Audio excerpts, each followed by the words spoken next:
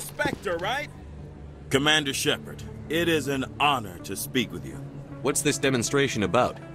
I'm Charles Saracino of the Terra Firma Party. With Armistice Day coming soon, we're making our voices heard by the alien appeasers on the Presidium. Can I count on your support in the next election?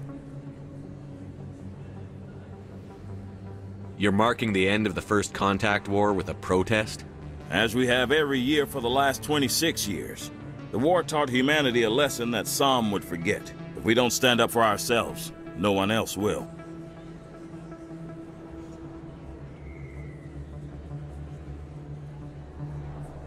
What are you running for? I'm seeking one of the five spacer seats in Parliament. They have certain baroque conditions for a citizen to be able to vote for them. You have to spend more than six months a year in space, but you can't have stayed in any one settled system for more than a month. You do spend most of your time in space, Commander.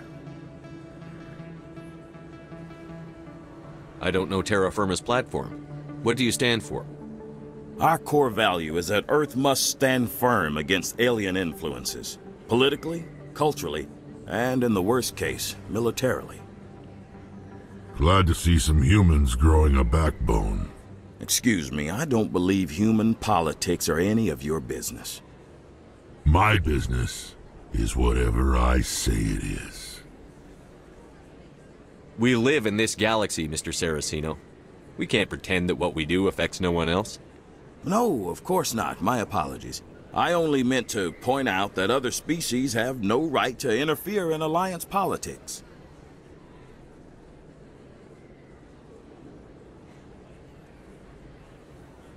I'm a patriot, Mr. Saracino. You've got my vote. It is gratifying to hear that. We can't allow anything like Shanxi to happen again.